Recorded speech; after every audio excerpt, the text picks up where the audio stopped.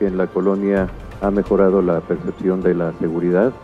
Mucho de esto se debe a que en nuestro presupuesto participativo se pidió una patrulla, pero este, la patrulla no sería nada sin los elementos que nos hicieron favor de proporcionar eh, tanto el alcalde como la comisionada y que han estado trabajando bastante bien.